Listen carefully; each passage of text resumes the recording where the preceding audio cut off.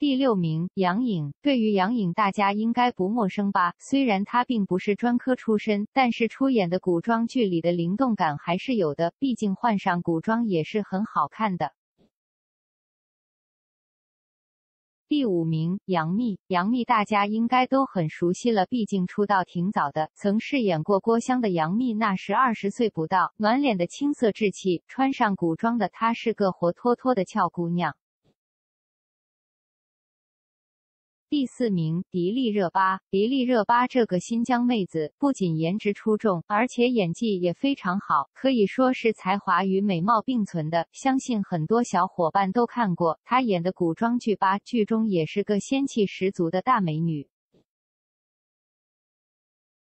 第三名，唐嫣。唐嫣大家应该不陌生，毕竟出演过很多角色，而大部分都是古装剧。说实话，唐嫣比较适合演古装，应该看上去就很合。第二名，赵丽颖。赵丽颖，她穿上古装的时候，美的大气，清新自然。